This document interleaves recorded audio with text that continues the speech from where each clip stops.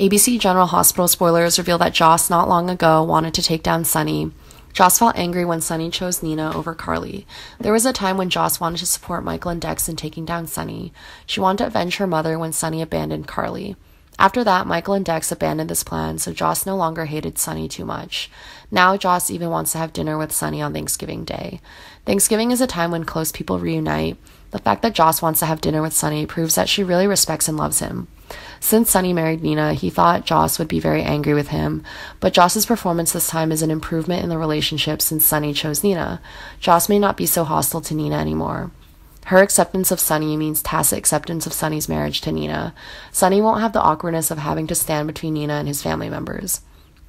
Meanwhile, Marshall has a lot of worries about Curtis trying to find out who shot him. The assassin who acted that day was very professional. He didn't leave any clues to show that the person behind him was not simple. It's unclear what his purpose is, but if Curtis insists on delving into this matter, it's really dangerous. Curtis himself's health is no longer the same as before, so Marshall hopes Curtis can take time to rest more. In addition, there is another worrying issue. Curtis is cooperating with Jordan to investigate this. Everyone knows Jordan is Curtis's ex-wife and she currently works at the police department. Curtis will need some information there.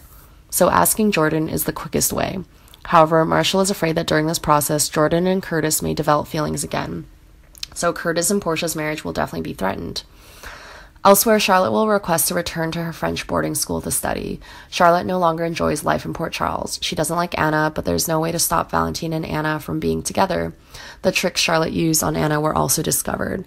Now, staying in Port Charles would be very awkward, so Charlotte wanted to return to France.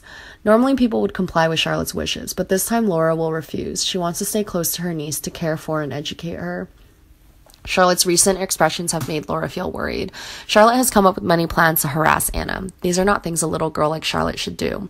Laura even suspected Charlotte had some kind of mental illness, so leaving Charlotte alone to live away from home is really not okay.